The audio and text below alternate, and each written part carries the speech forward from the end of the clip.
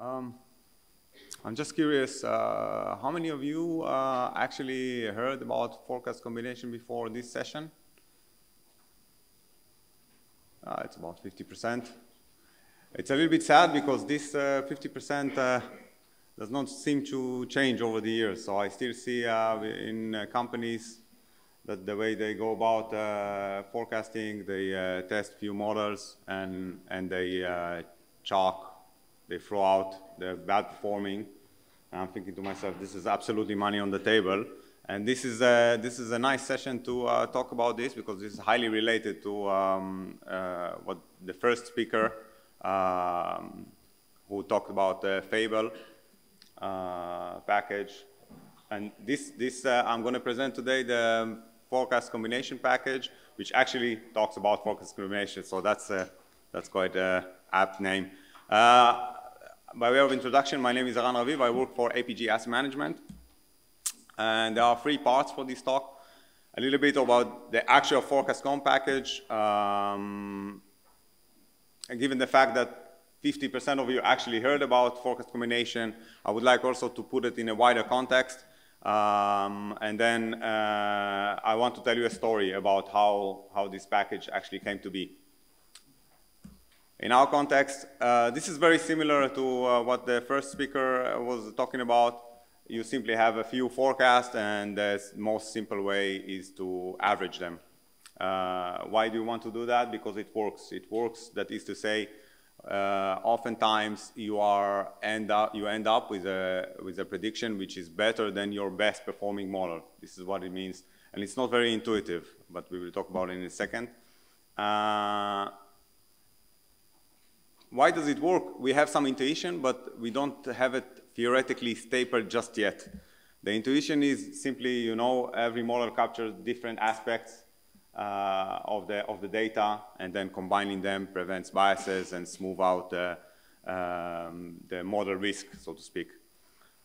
Um, we already saw uh, uh, electricity load, so this is the UK electricity uh, supply data. We have here in the black line, we have the actual uh, data, and then you uh, apply the few forecasting models, and then you, you got the forecast, basically.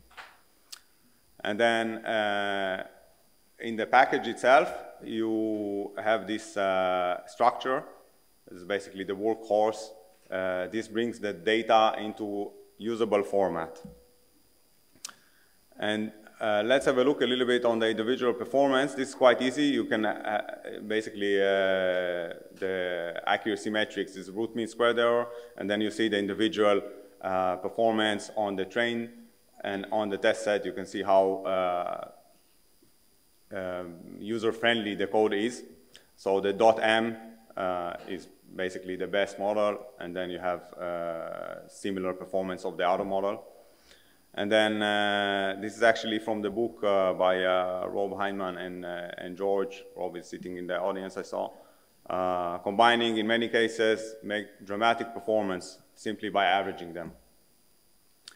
And this is another example. Uh, here, you, instead of simple average, maybe I, I here at this point in time, I say the package itself provides a slew of, or a battery of ways in which you can uh, combine forecasts. So that's another way.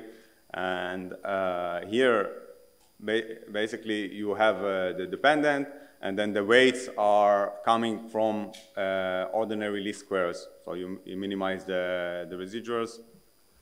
And the combined forecast is uh, the, the bias, and then uh, you use those coefficients as weights.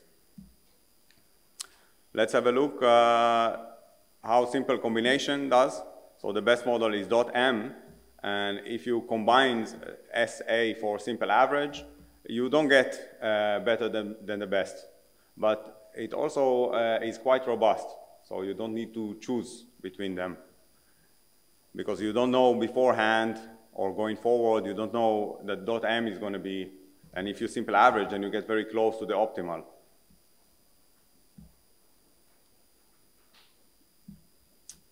If you do, uh, you apply OLS combination in this case, you perform uh, actually substantially better than the best. So you can see the accuracy metric is really uh, 0.67. This is really just a, a, an example. Uh, usually I don't advocate uh, OLS combination because it has other uh, issues, um, which I will uh, discuss uh, later.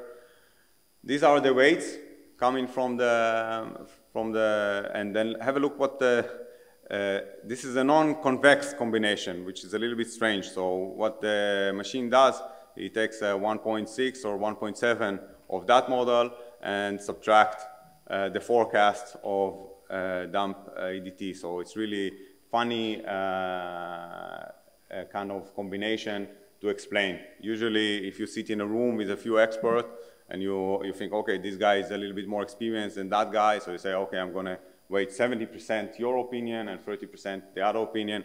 This is e uh, more easy to explain, uh, but for this case, uh, not so. Um, and then what I want to show, uh, what actually is happening, how come uh, this works. So uh, let's have a look, say, in this, in this area here. So you can see the individual models, they are undershooting the black line, right? So with the non-convex, you can actually reach the black line. So it takes the, these two models, uh, the green one and the blue one, and then it goes there. So that's kind of nice to see. Uh, because this happens in uh, many important areas. So funny enough, this particular uh, combination of forecast, non-convex one, the, the machine learns and then uh, using those two models, it manages to catch up to the black line. So this, this is the intuition behind uh, why OLS combination actually works in this case. Uh, a little bit about forecast uh, com, uh, com, package. Uh, some things are trivial. You, you know, take the simple average, take the, take the median. Uh, some things are more complicated. Um, you can do uh, accuracy based. We implemented um, a few more or less state of the art, what is now known in the literature. this, this presentation will be online, everything is clickable.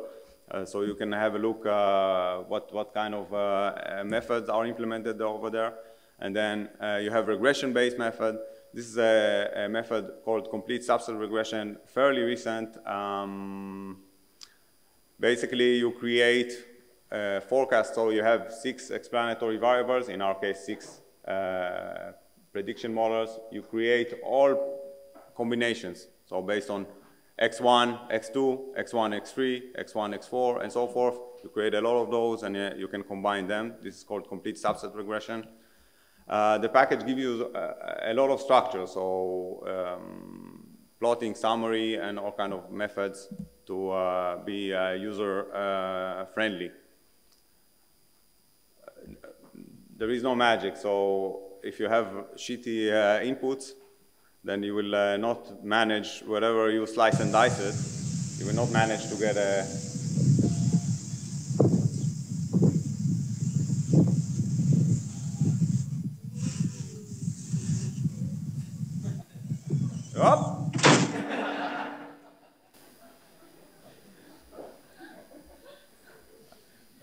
garbage in, garbage out. Eh? So uh, it's, not, it's not as if you can input shitty uh, individual performance and then get back a very nice combined forecast. Other things combination. So here I, uh, I wanted to give a little bit more uh, context. We have seen today random forest. We have seen also bagging as part of random forest. This is also, this is also forecast combination. So I, I, put this in context. Eh? What bagging does is creating a load based on subsamples, and random forest is also taking chunks from the individual columns. Uh, moving average, this is also a forecast combination. So you have the long-term forecast, and you have the forecast which is based on the on the short short term. Uh, shrinkage is also forecast combination. And recently, uh, if you st study the deep, uh, deep learning, and so you have inception blocks. When, when I read that, This is basically applying a few different hyperparameters. Um, so this is also a forecast combination. And now, uh, again, I'm going to cruise through, this is like a, a, a, long list of literature review, and you can see how strong this uh, topic is. You have across different uh, windows, uh, across forecasting horizons, uh, you have rectified, uh, I think, again, um, Rob Hyndman, hierarchical time series, again, Rob Hyndman.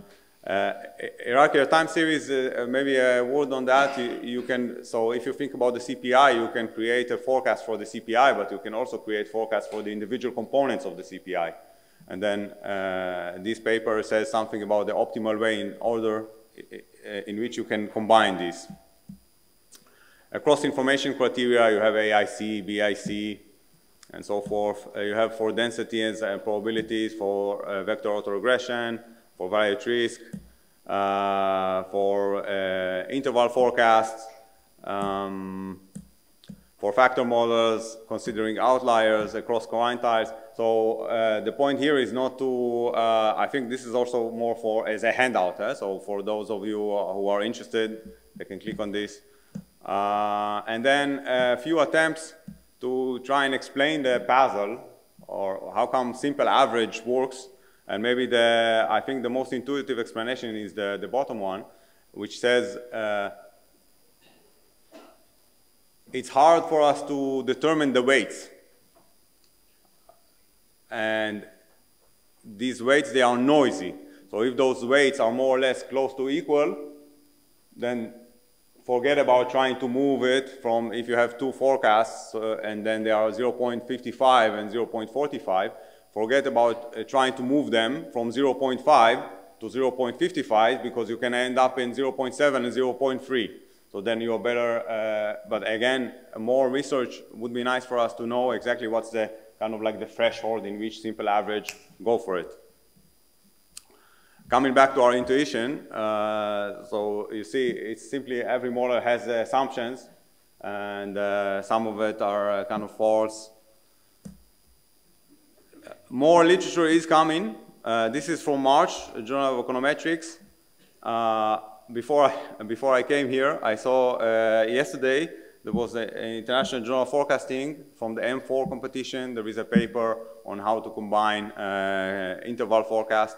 And finally, very quickly, I wanted to say a few words on how the package uh, actually uh, was born. I just gave a presentation like this at work.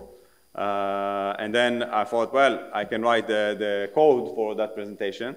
So you can see that was in, uh, what is this, uh, 2015. Uh, and then uh, I got an email. Uh, and this, this is important point. I think most of you in the the crowd also, also get email. And sometimes you dismiss it a little bit. But the point here, you never know uh, what will come out of this. Eh? So the, the, guy who wrote uh, this email, he wrote another forecast combination package, uh, implementing something different. And then we collaborated and we uh, combined for forces. And uh, what is also nice, I, have never met those guys. So we, we have worked a lot together. So a lot, a lot. And always, uh, with nowadays, you don't have to so one guy is in uh, Dublin and the other one is in, in uh, Cambridge and I, I, am Amsterdam based. So you simply, uh, every three weeks, you set up uh, one hour Skype call on, uh, on, uh, on Sunday. And with these tools, you can really, you can really make it. And I, I think I will not recognize them if I see them on the street, which is amazing given all the amount of work that we did together. And uh, this, is, this uh, uh, we uh, submitted the, the actual paper for the R journals, which is also an excellent journal. So in terms of treatment, and it's also increasing in uh, impact. So that was amazing experience. That's it.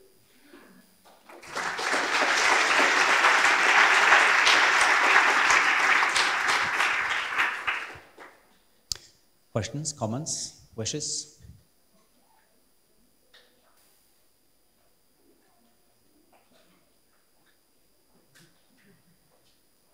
At the end, you concluded that you could collaborate, or that collaborators could combine Yeah, across borders. yeah.